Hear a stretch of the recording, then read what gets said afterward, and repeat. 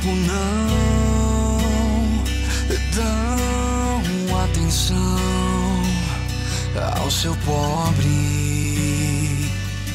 coração. Não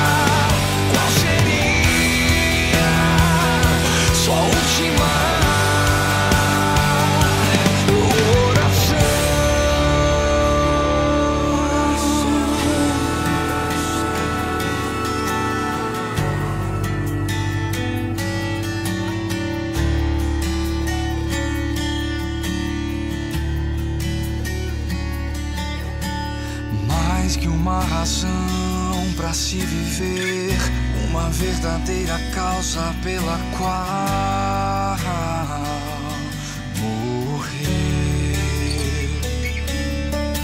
Seja o prólogo de quem viveu a preparar o seu epílogo e te